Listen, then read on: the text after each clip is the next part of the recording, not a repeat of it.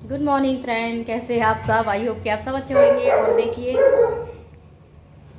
ये क्या कर रहा? ये देखिए कैसी हालत हो गई हमारी पूरी धूल धूल। यहाँ पर देखिए घर का सामान जा रहा है तो पूरा ये देखिए बेड वगैरह निकाल लिए, टंकी वगैरह सब रखी हुई है। घर गृहस्थी में बहुत सामान होता है और ये देखिए यहाँ अंदर का भी कर लिया हमने, अंदर का भी रख लिया। तो हस्बैंड आ रहे हैं ऑटो लेके तो अब सब जाएगा। किचन का थोड़ा बचेगा हमारा सब फैलारा पूरा है इसको माइंड भी सामान चला जाएगा अब हमारा। एक आध दो बचेगा तो वो रखा रहेगा। चलो भैया।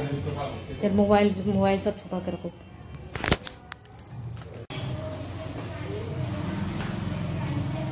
पकड़ो थोड़ा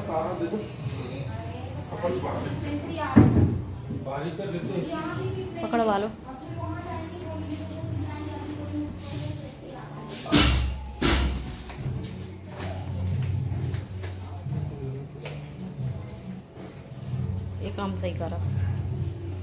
हाँ हाँ कम से कम ये तो रहेगा, कोई आया है ना अच्छा वहाँ पे, थोड़ा इम्प्रेशन बन, बढ़ जाता है ना। ये देखो, इसके पास पूरा घर खाली हो गया तो मैंने सोचा चलो सफ़ाई कर देती हूँ। तो पूरा इतना गंदा हो रहा था ये, एक घंटा हो गया मुझे। मैं पहले से ही घिस रही थी, मैंने सोचा चलो थोड़ा सा वीडियो शूट कर लेती हूँ। इसलिए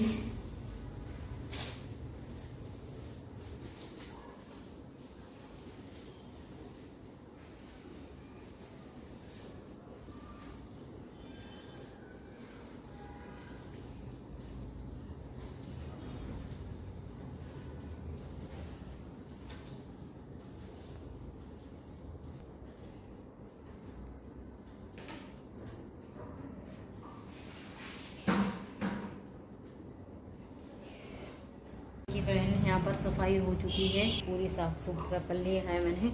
और अंदर भी साफ़ करा, सीढ़ी पे से वॉशिंग मशीन हट चुकी है हमारी। अब पूरी खाली हो गई यहाँ पर जगह आराम से निकलने के लिए, क्योंकि वॉशिंग मशीन यहाँ बीच में रखी थी। और देखिए, बिल्कुल साफ़ कर दिया मैंने।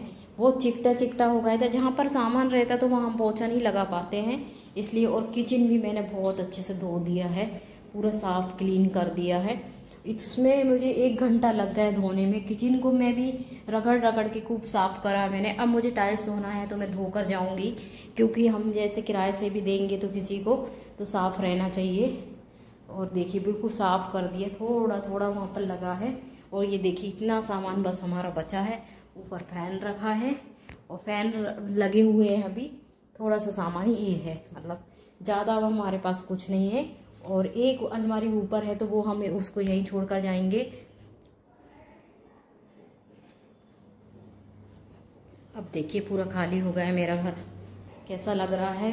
होता है हम लोग इस घर में इतने साल रहे। इंसान की कुछ मजबूरियाँ होती है, इसलिए जाना पड़ता है। मजबूरियाँ हैं हमारी, इसलिए हम लोग जा रहे नहीं, हम नहीं जाते, क्योंकि इतनी बेवकूफ़ी थोड़ी ना कोई करता कि अभी चार साल पहले हमने घर बनाया ये और इसको छोड़ के जाना पड़ेगा। क्या करें, मजबूरी है। हर चीज़ की एक मजबूरी होती है। तो ये देखिए खाली खाली घर कितना अच्छा लगता है। जब भर जाता तो बहुत दिक्कत होती है। तो चलिए, बने रहिए फ्रेंड ब्लॉग में। ये देख लीजिए, कुर्सी टाइट हो रही है। कुर्सी बन रही है इनकी देखो। सबसे परेशान हो रहा है और ये सब फैला रहा यहाँ मेरे लिए लेकर आए हैं ये। ये लोग देखो, अपने काम में लगे हैं और इतना सारा फैला रहा मेरे लिए रख दिया। कैसा पड़ा हुआ? तो एडिटेशन हो रही है मुझे। और ये देखो, किचन का फैला रहा देखो। ये किचन का कुछ जमा दिया मैंने, कुछ इधर जमाना है अभी। देखो। बहुत देख देख कर दिमाग खराब हो रहा कि यहाँ से क्या जमाऊँ। कुछ अंदर मैंने जमा दिया है यहाँ पर। ये देख सकते हैं आप अलमीरा में। और काफ़ी बचा हुआ है ये देखो। अब यही सोचा जा रहा है कि कहाँ पे क्या जमाया जाए। सबसे ज़्यादा यदि कचरा रहता है तो किचन में। किचन का बहुत ज़्यादा कचरा रहता है। फ्रेंड यहाँ पर मुझे वॉइस ओवर करना पड़ रही है। आप देख सकते हैं, सामने कूलर रखा हुआ है। तो उसकी इतनी आवाज़ आ रही है कूलर की तो मेरी आवाज़ तो दबी रही थी। और ये जो डब्बे हैं, ये खाली रखूँगी सारे, क्योंकि जो किराना था, वो सारे डब्बों में भर चुकी हूँ मैं। अब जो बड़े डब्बे हैं, यही बचे हैं। बाकी स्टील के डब्बे भी मैं पैक करके रख दूँगी। अब यहाँ पर खराब होने का झंझट तो है नहीं है, क्योंकि वो उस वाले घर में हमारा ना वेल्टिनेशन प्रॉपर नहीं था तो सारे डब्बे खराब हो जाते थे और मुझे हम मतलब एक महीने में दो बार तो मांझना ही पड़ते थे और इतने चिकट जाते थे, मैं परेशान हो जाती थी। बल्कि एग्जॉस्ट था यहाँ पर बट फिर भी है ना एग्जॉस्ट का कोई मतलब नहीं था लगाने का, क्योंकि उसके ऊपर मैंने टाड़ बना दिया था, लाफ्ट बोलते जिसको तो वो सामान रखने के लिए तो वो उसमें ही दब जाती थी उसकी एयर डायरेक्ट हमारे रूम में लौट कर आती थी। यहाँ पे सारा सामान पैक रखा रहेगा, कोई दिक्कत नहीं होगी, क्योंकि सबसे ज़्यादा दिक्कत होती खुले में सामान रखना किचन का, और सबसे ज़्यादा यदि कोई सामान होता है तो वो होता किचन का, क्योंकि इसको बहुत कैरी करना पड़ता है किचन के सामान को।